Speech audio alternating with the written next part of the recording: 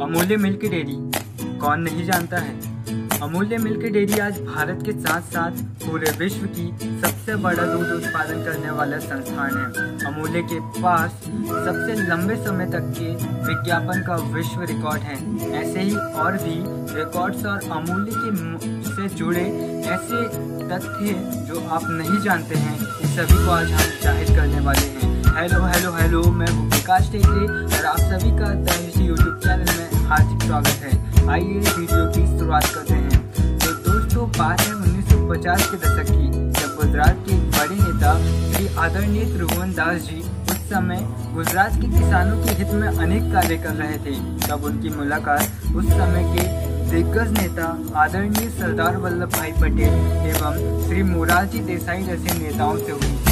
जो के प्रयासों से ही 14 दिसंबर 1946 को अमूल्य मिल्क संस्थान की एक सहकारी संस्था के रूप में स्थापना हुई। इसे सहकारी संस्था इसलिए कहा गया क्योंकि इसका कोई व्यक्तिगत मालिक नहीं था।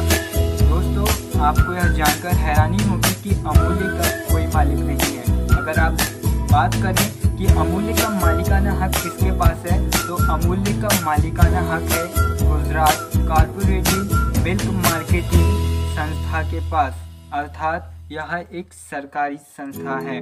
दोस्तों, इसके पहले जो चेयरमैन थे, वे थे श्री वर्गीस कुरियन। वर्गीस कुरियन को आज कौन नहीं जानता है? वर्गीस कुरियन वे ही व्यक्ति हैं जिन्होंने गाय के दूध से पाउडर बनाने वाली मशीन का इजाद किया। दोस्तों, इससे पहले केवल भैंस के दूध से ही पाउडर बनाया जा सकता था। लेकिन वर्गीस कुरियन ने जब गाय के दूध से पाउडर बनाने वाली मशीन का आविष्कार किया तो एक महान क्रांति थी।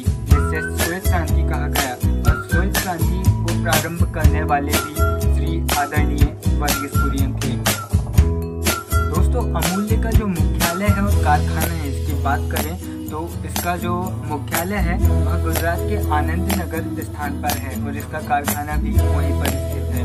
दोस्तों, एक बार की बात है, जब इकतीस अक्टूबर उन्नीस को तात्कालिक प्रधानमंत्री श्री आदरणीय लाल बहादुर शास्त्री जब अमूल्य के दौरे पर आए तो उन्होंने अमूल्य की जो सफलता थी, उसे देखकर वे काफ़ी प्रसन्न हुए और उन्होंने वर्गीस कुरियन को कहा कि देश में ऐसे ही और मॉडल बनने चाहिए मिल्क फैक्ट्रीज के। तो उसी का परिणाम था कि उन्नीस सौ पैंसठ में नेशनल डेयरी डेवलपमेंट बोर्ड की स्थापना हुई। दोस्तों, अमूल्य से बहुत सारे परिचित नाम जुड़े हैं, जैसे लोह पुरुष सरदार वल्लभ भाई पटेल और किसानों के एक महान नेता त्रिभुवन दास और मोरारजी देसाई और हमारे पूर्व प्रधानमंत्री आदरणीय लाल बहादुर शास्त्री और श्वेत क्रांति के जनक श्री वर्गीस कुरियन।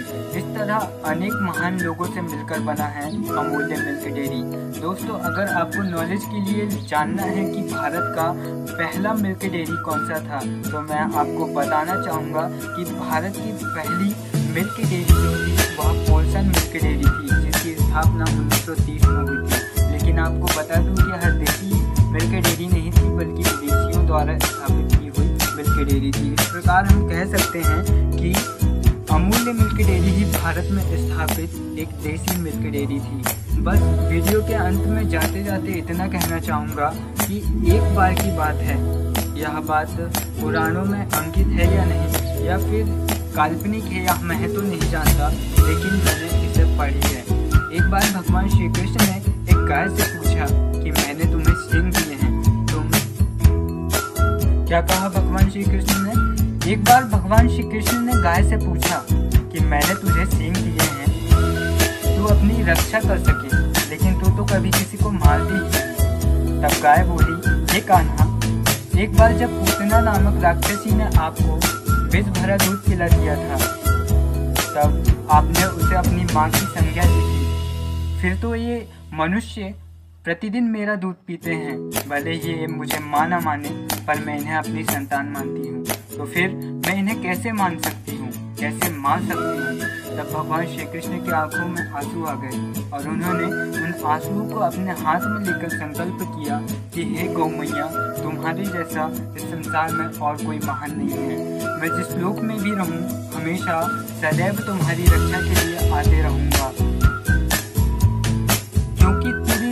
संसार में केवल तुम ही हो जो मारने वाले को भी अपना पुत्र मानती है। तो दोस्तों, हम प्रतिदिन दूध तो पीते हैं और हम उन ब्रांड को भी याद रखते हैं जो प्रसिद्ध दूध बनाने वाली कंपनियाँ हैं। लेकिन क्या हम कभी गाय को याद रखते हैं? या हमारे एक दिन में भी कुछ नट ऐसे होते हैं, तब हम गाय की सेवा कर रहे होते हैं।